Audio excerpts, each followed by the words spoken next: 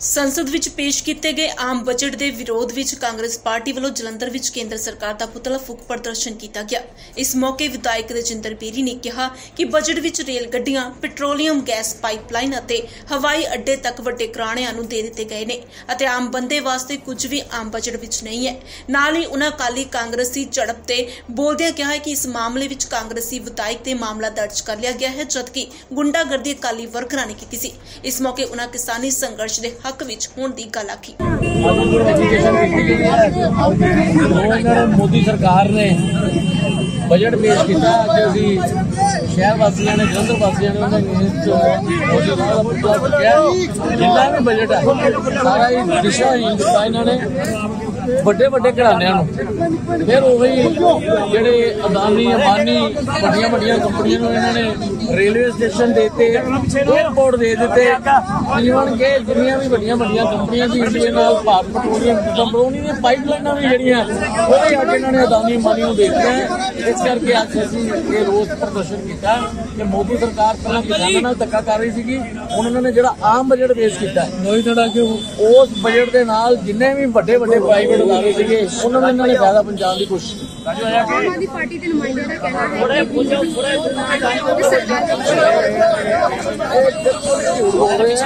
ਕਾਂਗਰਸ ਹਮੇਸ਼ਾ ਹੀ ਪਿੱਛੇ ਡੈਮੋਕ੍ਰੇਟਿਕ ਵਾਲੀ ਪਾਰਟੀ ਹੈ ਕਾਂਗਰਸ ਨੇ ਹਮੇਸ਼ਾ ਹੀ ਹਰ ਹਿੰਦੂ ਏਕਤਾ ਨੂੰ ਜੋੜ ਕੇ ਰੱਖਿਆ, ਹਿੰਦੂ ਮੁਸਲਮਾਨ ਨੂੰ ਜੋੜ ਕੇ ਰੱਖਿਆ।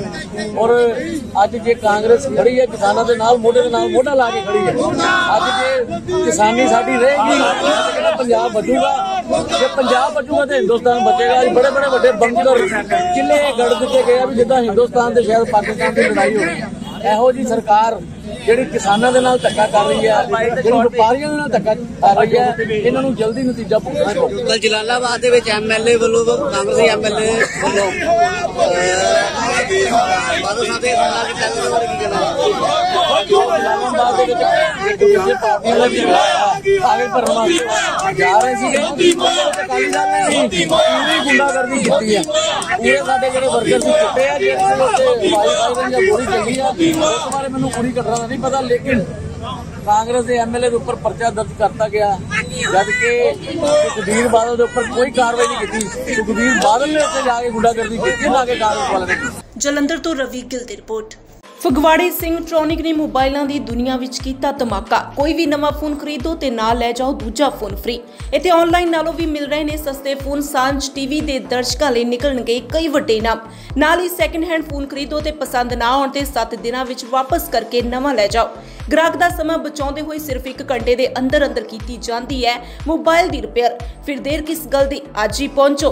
Singtronic mobile Skechers and more Guru Hargobind Nagar, Phagwara. ਵਧੇਰੇ ਜਾਣਕਾਰੀ ਲਈ ਸੰਪਰਕ ਕਰੋ 9814 01824 98552 22000